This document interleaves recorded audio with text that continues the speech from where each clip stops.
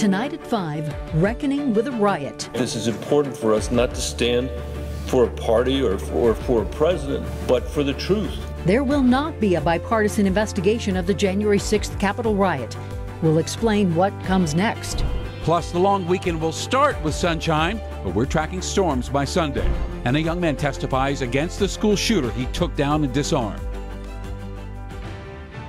And we begin tonight with breaking news. Dr. Alex Marrero, the man who's supposed to become DPS superintendent next week, is now the subject of a federal lawsuit. Good evening. Thank you so much for joining us. I'm Anne Trujillo. And I'm Shannon Ogden. Now, this lawsuit was first reported by our news partner, the Denver Post. It has to do with the way Dr. Marrero, Marrero handled COVID 19 while he was interim superintendent at the City School District of New Rochelle, New York. The complaint was filed today in the state of New York by the medical director of the New Rochelle District. Dr. Brooke Balkin claims Marrero tried to set up an illegal vaccination clinic for teachers in January of this year and she alerted the state of New York, and they shut it down.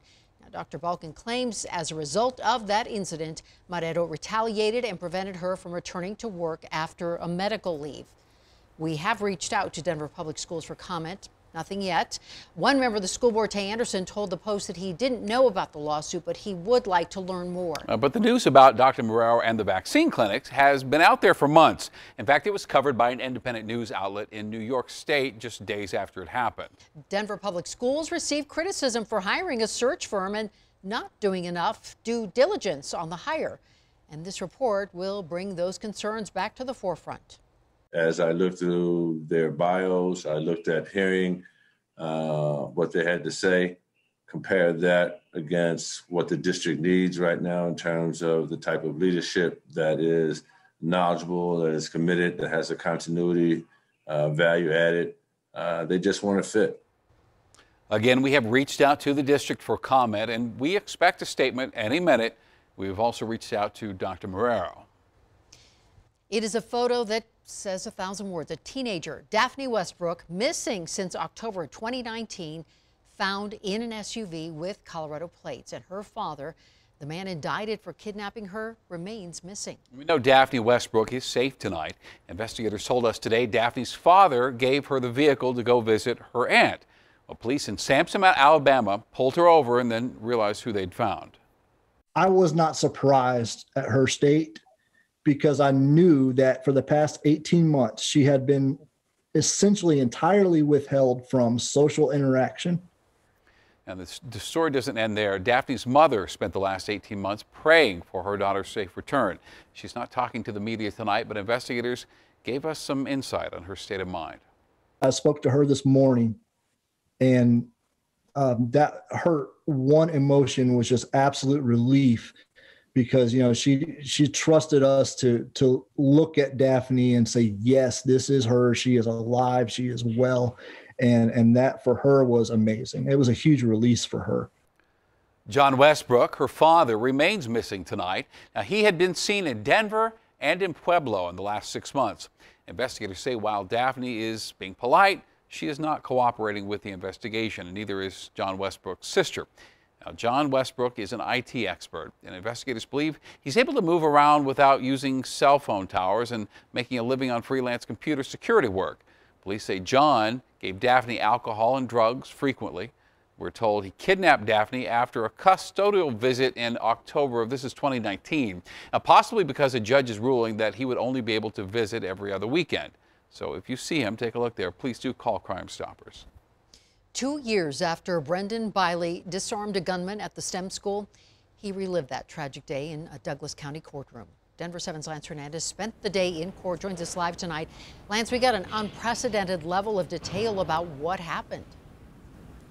A lot of detail, uh, and today, jurors heard from six witnesses total. The first one, Brendan Bialy. He is a classmate who was sitting next to Kendrick Castillo. Bialy says the class was watching a movie on May 7th of 2019 when the defendant, Devon Erickson, walked into the classroom with a guitar case. At one point, he set that case down, got up, pulled out a gun, and said, Nobody, expletive, move. Now, Bialy says Kendrick Castillo charged the gunman and pushed him up against the wall, began punching him. Bialy says he ran up to the other side, did the same thing, then heard two gunshots. He believes one of them hit Castillo. During cross, Bialy was asked if Erickson pointed the gun at students or above their heads. He said it was above my head.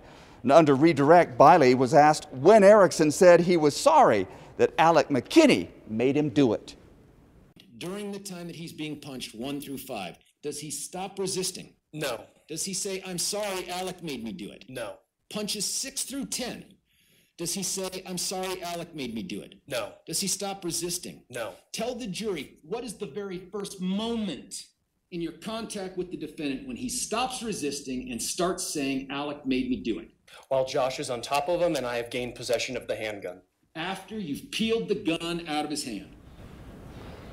The school's IT director also took the stand today. He says he saw Alec McKinney fighting in the hallway and that he had a gun in his hand. He says he grabbed that gun, went into room 207, saw Kendrick Castillo on the floor, not responsive, but still breathing. At that point, I looked over at the Castillo family. Mrs. Castillo bent over and started crying, shedding tears. Her husband grabbed a box of Kleenexes. I then looked over at Mr. Erickson sitting at the defense table. He wasn't showing any emotion whatsoever. He just looked down at the table and was holding a water bottle in his hand. He was doing that most of the afternoon. Reporting live in Douglas County, Lance Hernandez. Back to you. We need to understand what led millions of Americans to believe conspiracy theories about our own country and what led thousands of people to storm the Capitol of the United States. Senator Michael Bennet and other Democrats wanted to create an independent bipartisan commission to investigate what happened on January 6th. They needed to convince 10 Republican senators that the commission was a good idea. They only got six of them. Here's ABC's Alex Presha in Washington. On this vote, the yeas are 54, the nays are 35. The motion is not agreed to. The outcome was expected. How it happened, not so much. Senate Republicans blocked an effort to create an independent bipartisan commission that would investigate the January 6 deadly assault on the Capitol by Trump supporters using the filibuster. Invoking the filibuster requires a 60 vote minimum to move forward any legislation. Ultimately, six Republicans joined Democrats in the 54 to 35 vote, falling short of the 60 needed to advance the bill. Shame on the Republican Party for trying to sweep the horrors of that day under the rug because they're afraid of Donald Trump. Top Republicans feared Democrats would drag out the investigation into the insurrection just ahead of the critical 2022 midterm election. Sources say Senate Minority Leader Mitch McConnell even personally worked the phones, urging his members to vote against it. This despite a passionate day of lobbying from family members of Capitol Police Officer Brian Sicknick, who died one day after the attack, his mother going door to door yesterday pleading for support for the commission. Usually I'm staying in the background and I just couldn't I couldn't stay quiet anymore. Notably after today's vote, no Republican spoke on the Senate floor. The bill did include several concessions House GOP leaders wanted from Democrats, including that the commission be equally composed of members from both parties and that both have subpoena power. But most Republicans are betting their base is ready to move on. A recent Quinnipiac poll found 74% of Republican voters say too much is being made of January 6th. But a majority of Americans, 55%, say that attack on democracy should never be forgotten.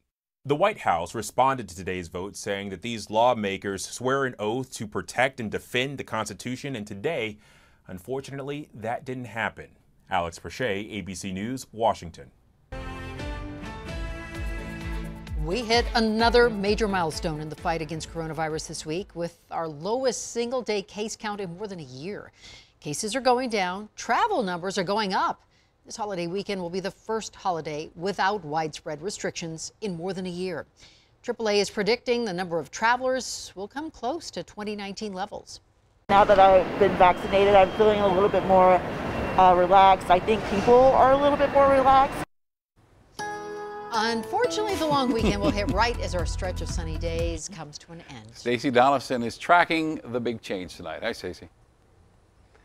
That's right. Hi, we have cloudy skies here across the front range. A few scattered showers trying to get going, but it's mostly Virga uh, where the rain uh, disappears before it hits the ground. Now it's been very warm here for the Front Range and the Eastern Plains into the 80s this afternoon. We're sitting at 81 degrees right now downtown, 70s across the plains, 60s and 70s for the mountains. But from here on out, we're going to really cool things down going into our holiday weekend. We still have high fire danger through northwestern Colorado until 8 p.m. a fire weather warning and a few scattered showers popping up mostly through western Colorado at this point, but not much going on. These will be spotty showers that will disappear in through tonight. A few showers into southern Colorado Colorado as well. But tomorrow, a different story. We'll see more widespread and severe weather down through southern part of our state, scattered showers here for Denver, and then more widespread rainfall going into the rest of our holiday weekend. Now, tomorrow, our dog park forecast looks great. We'll only warm it up to around 70 degrees for the afternoon. So a cool down coming our way, and then an even bigger cold front that will drop our temperatures and bring in a lot more rain going into Sunday and Monday.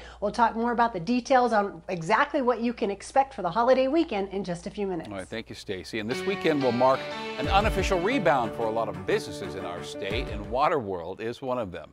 Waterworld did not open in all of 2022. We had hired about a thousand kids last year who we had to give the devastating news that we weren't going to be able to open. First time in 40 years that we wouldn't be able to open. And so um, now that we're opening, they're ready to come back. 600 of them came back. Now, other mm. pools and rec centers aren't so lucky. It is possible that every large Front Range city is hiring lifeguards. A search for Lifeguard Job Colorado will give you dozens of job openings, including Denver, Golden, Englewood, Wheat Ridge, Littleton, and Aurora. Local YMCAs are trying to recruit part timers, and the city of Boulder announced today that it would adjust hours at four of its pools since it just doesn't have the staff. Next at 5, meet the man who just sold his Denver liquor store for 93 times what he paid for it. Plus, meet the Olympian who is helping one mountain town rebound from a pandemic and a devastating fire. There's the misconception that the town is gone, but the town's very much here. And with so many places reopening, we continue the 360 conversation about whether masks are really necessary.